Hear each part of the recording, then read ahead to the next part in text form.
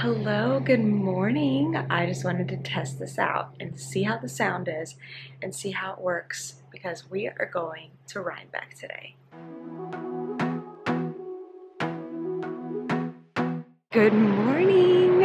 Okay, so we are walking to the train station. Good morning. Um, we are walking uh, from my apartment down to the train station to go to Rhinebeck.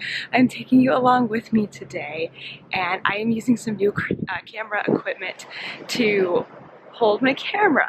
so I feel like you're gonna see um, hopefully an improvement throughout the day as I learn how to use this thing.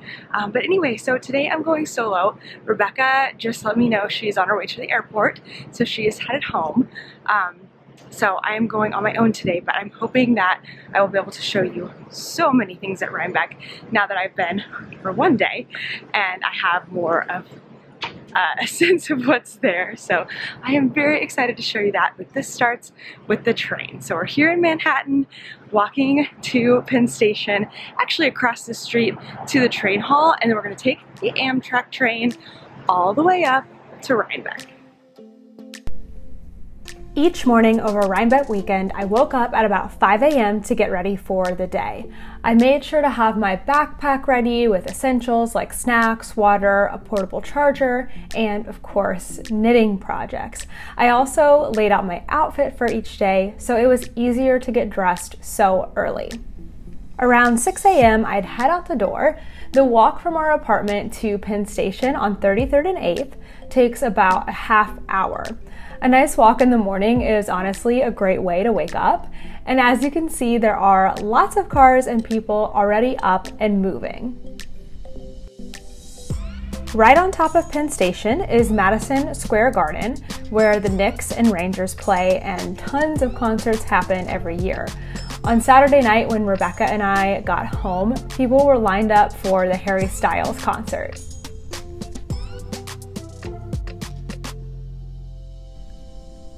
Then across from Penn Station is the Moynihan Train Hall, where the Long Island Railroad and Amtrak trains board.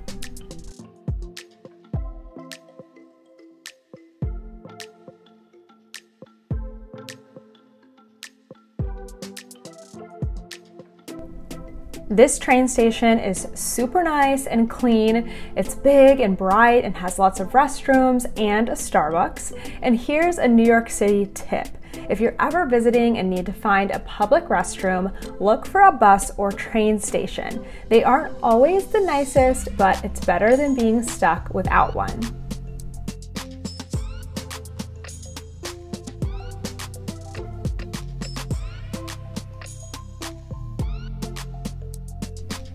This train station also has a waiting area for ticketed travelers, so some somewhere spacious to sit, relax, and charge your devices before you travel.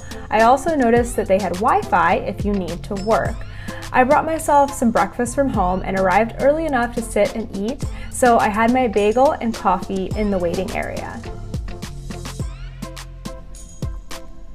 About 20 minutes before our train was scheduled to leave, people line up at the assigned track. Then you take the escalator down to the train tracks to board.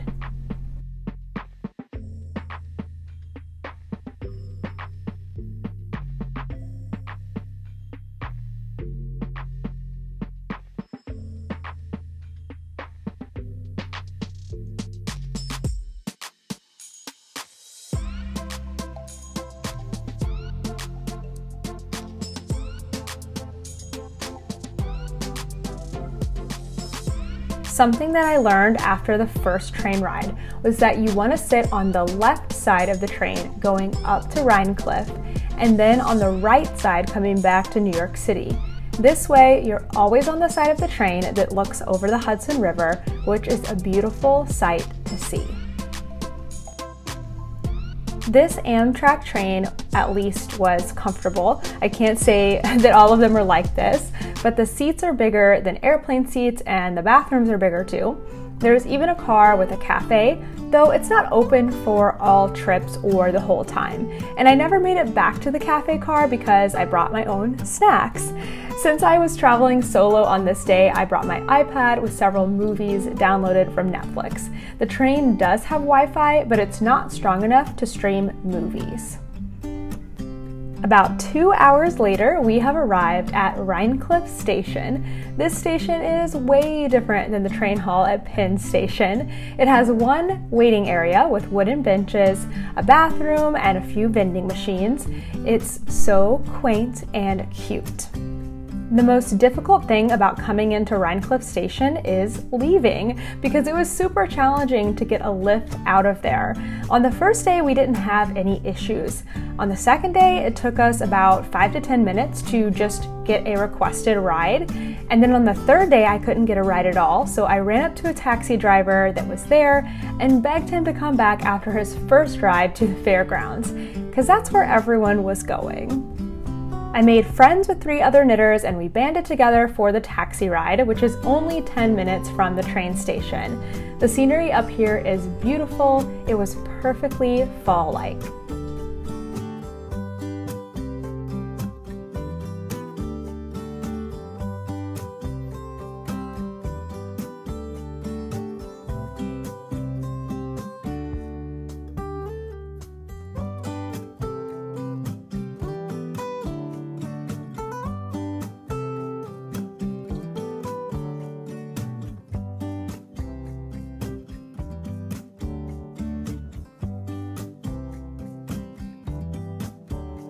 I wanted to chat for a second before I go in. You can see maybe in a second, it's really empty today. People are starting to come in, um, but yesterday there was a long line just to get in. I think I'm getting here 30 minutes after things have opened. So I'm about to head inside, and the first thing we're gonna do is go for an apple cider donut again, because it was really good. But I also heard that we need to try apple cider. So that's what I'm gonna try to do first. I'm gonna probably eat lots of food today and maybe even shop for some stuff. So let's head in.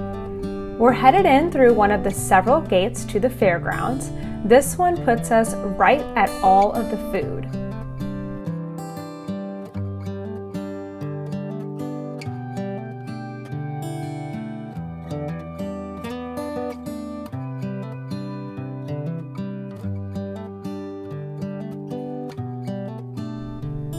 Our first stop is Apple Cider Donuts, so we're going to take the first right up this hill to the stand.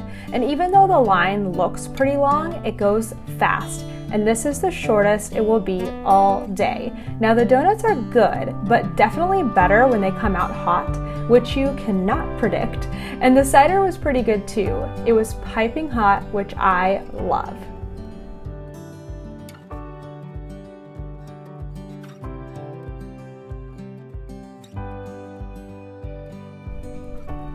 Now we're starting to head through the various buildings of the fairgrounds.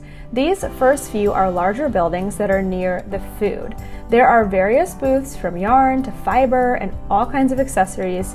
Everything was on a map that was handed out when you entered the fairgrounds, and all the buildings and barns are numbered.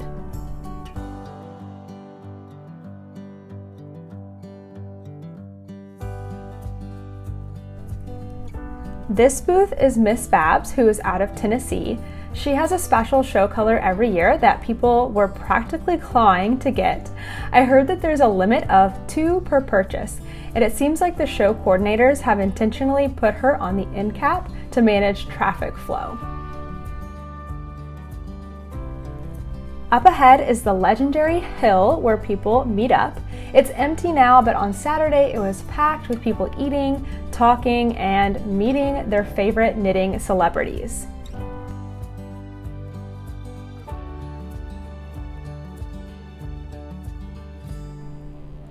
A big part of the festival is the animals. We'll see the sheep and other farm animals later, but there were also kangaroos, monkeys, and a pig.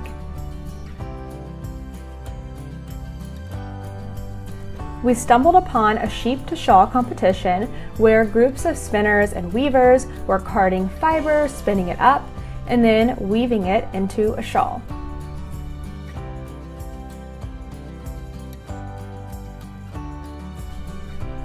Every day there was a parade of animals and it was so adorable. I'll leave the sound on so you can hear the bells and the people sounds.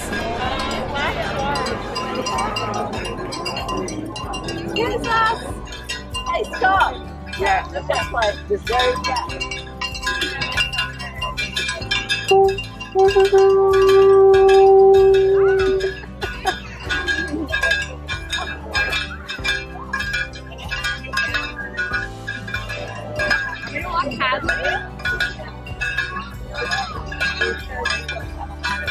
I wonder if they have the leaping llamas today. Oh, do they have that? They do usually. Oh, that's cool. Now this is what the barns look like. The barns are smaller than the other buildings where we started and have a concrete path only in the middle. The vendors did a great job making their booths feel super homey. You have no idea that you're in a barn.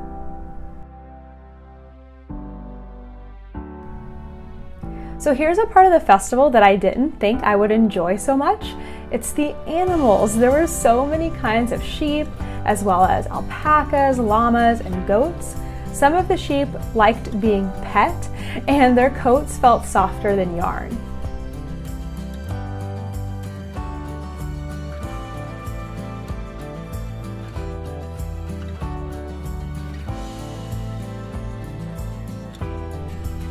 This right here is an Angora bunny. She was super soft and just lay there letting people pet her. I tried my best to capture a lot of the different types of sheep so you can see how they all look so different.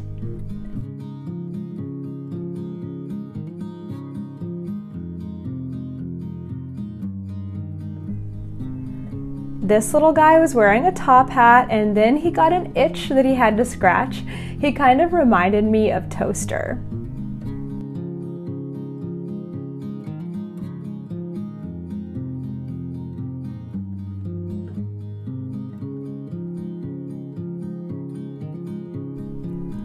As the day went on, more people arrived, but it never got super crowded on Sunday like it did on Saturday. A few of the vendors had outdoor tents, like Jenny the Potter, who is a well known potter, and I wanted to make sure I saw her booth. Another potter I love is Polly Studios. I have several of their mugs, and they are so great because they're dishwasher safe and microwave safe. I find them always at DFW Fiberfest, but you can also shop them online. For as many buildings as there were to shop in and as many booths as there were, all I bought my two days at Rhinebeck was a t shirt. in some ways, I was surprised, but I guess my minimal yarn stash is still in business.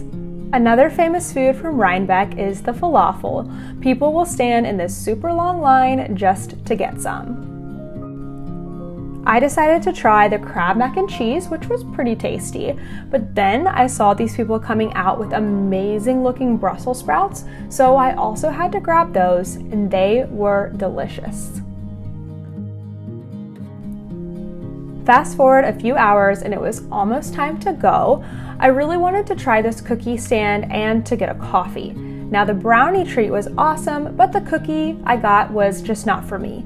I'm majorly picky about my desserts because if I'm going to eat something unhealthy, it better be worth it. This spot is a hidden gem at Rhinebeck. It's actually right in the middle of things, so people are constantly walking in front of it, which weirdly makes it easy to miss. It's just behind the big stand that serves fair food and right next to the hill.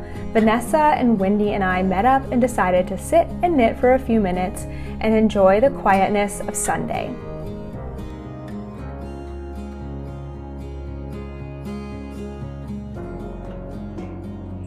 I keep trying to record this, but announcements keep coming on. So I'm in the train station. Super cute. Hopefully you can hear me. Um, but I just wanted to say that today was so much fun and I didn't get to show off my sweater yet. So here is my Butterswatch sweater and it was so comfy and I love it. I've got notes on this on my Ravelry, but I used the Bellish app to design it and it turned out great. And the weather was perfect today. It was a very chill day. I did some knitting. So I'm at the train station a little early because I didn't realize that Rhinebeck ended at four o'clock. So here I am and I'm gonna hang out for like an hour, knit and drink my coffee and then get on the train, knit some more, watch a movie and just end the day really relaxing and take some time tomorrow to just chill. So Thank you so much for watching this vlog. I hope you enjoyed it. Check out all the other Rhinebeck videos. They'll be linked down below and I will see you in the next one. Bye!